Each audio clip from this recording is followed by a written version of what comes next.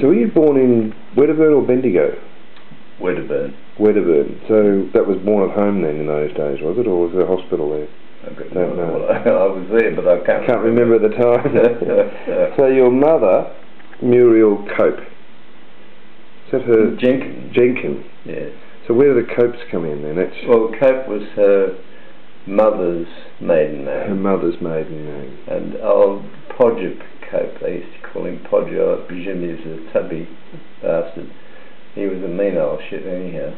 Um, he had a, a big property down at uh, in West, the Western District, Lake Condah. Lake Condah. Well, I've got the branding iron from Lake Condah. Have you? Yeah. All right. But who got a chrome? Mum did or you did? The C branding iron. Yeah, I didn't have anything to do with it. I think Leslie thought it was a stirrup and was trying to chuck it out one day. I said, no, that's the branding iron. The person who owns the branding iron owns the stock. Yeah. Well, uh, anyhow, Lake Condah, and um, Al Podger, of course, was worth a lot of money. He was he, he came from uh, England somewhere, one of the counties, and he raised a family of several girls and one or two boys. I don't know how many. But Les Cope was the final owner of Condah, and when he died, his widow soon followed him, and obviously, well, we didn't get a Guernsey as far as the estate was concerned, but um, it must have passed into the, the Cope family Mm. again. But uh, Mom was the daughter of Tossie Cope. Now, I don't know what other name she had, but she had Paget's disease, which is quite a nasty thing, and The she, spinal well, the bone, Bone. bone problems. chalky And- bone. Yeah, and she eventually became bedridden. The old Willie boy was a miserable old mean bastard, as you know, was uh, the headmaster of um, a state school at well, up in Melbourne, and uh, he he was a selfish old prick, and of course his wife was a bit of a nuisance, being bedridden, and he probably only did it twice when he had Mm. he sired Mom and uh, Uncle Vern. Um, Vern was younger. Yes, Vern was younger. But um, where, where was I? So Tossie eventually died, and Willie Boy was left on his own. But he had a housekeeper, Miss Grant, who looked after the house and the cooking and the f- and Tossie. And old Willie Boy did his work at school and, and uh, grew dahlias. He was a dahlia expert. And uh, where were we? Uh, so that's how Mum was Mm. a Jenkins from Wilfred, not Wilfred, sorry. Uh, what was his name? Willie Boy, we called him William, I think it was.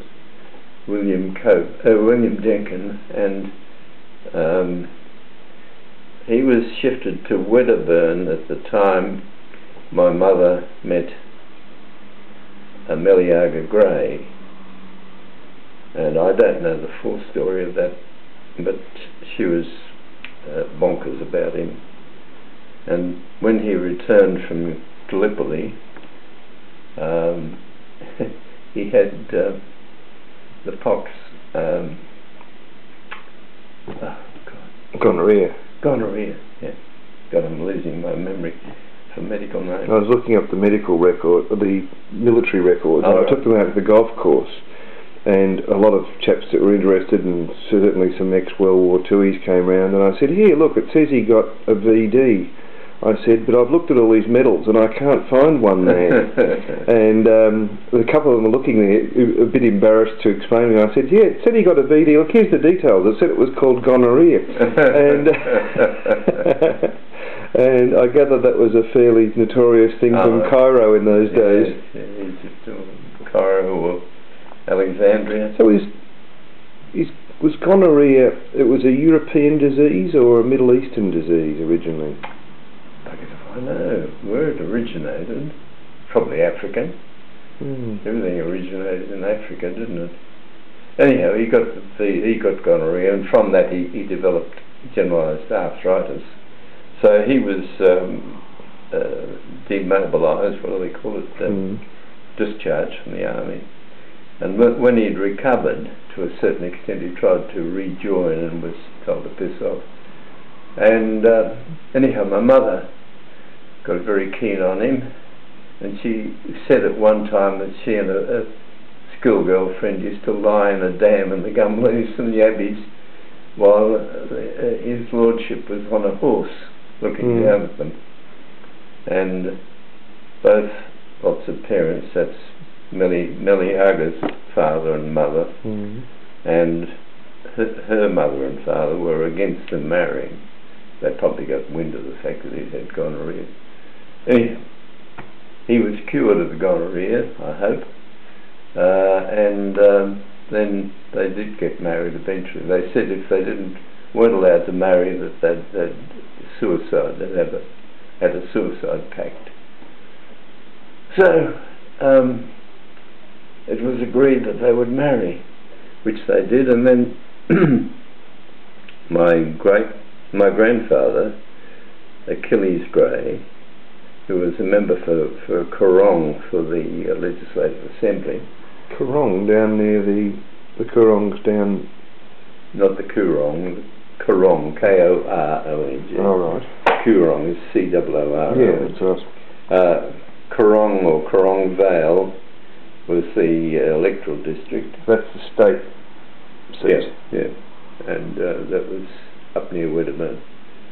And uh, Achilles was uh, an amateur vet. So he was a very popular man because he'd go and help farmers with their sick animals, and particularly horses. He was very good with horses.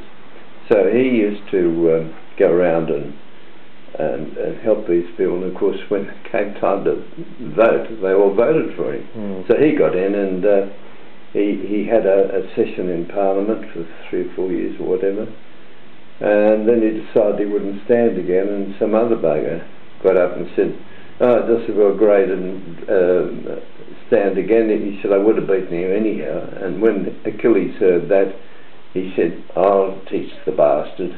Mm. And he stood, he uh, put his name down again, and, and uh, he won easily Well, and, he- and, and told the fellow to piss off. Um, so he had a second term. And uh, I'm telling you all this because as it comes to my Hmm. memory, so he two terms would have got him his parliamentary pension probably, in those days. yeah, quite possibly. I, uh, he was reasonably wealthy anyhow because his father, my great grandfather, Mm. was a mining engineer and he was he came from California, the California gold rush when that petered out. He came over to Australia in the 1850s, 52 I think it was, and um, he then went out fossicking and found mines or lo- lode and opened up mines and then sold them. Mm. the mine and then went and found another one and sold it. And so he made a lot of money and then he got very clever. He opened a general store in Wedderburn. Was the only op- the only store in Wedderburn at the time. And they sold everybody thing including groceries and and uh, mining tools and mining equipment all that sort of thing and they used to pay him in gold pay the store in gold so they collected enough gold and then it had to be transported to the bank at Bendigo. Mm. So my grand great grandfather would set off by a horse on a horseback with these um, bags of gold over the saddle Mm. and uh, to to lodge at the bank. And one year there, there was very heavy rain and the, one of the creeks that he had to cross was flooded. And as he swam the horse over, the gold was just lodged and of course fell to the bottom of the flooded creek. So he camped by the creek for a week until the water went down. Then he walked in, picked up his gold, and went on again. That's just a, the. So it's still in the bag, or yeah, yeah. oh right, I was thinking you had to re-pan it all or something. No, no, it would have been uh, very so- solid bags, whatever they used, calico or whatever.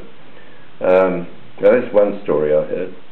Anyhow, he was a very clever man. He could he could uh, read Greek in the original language, you know, Mm. Greek language, Uh, and so that's his interest in in the Greek language caused him to, to name all his children after Greek heroes. Classics, yeah. Mm.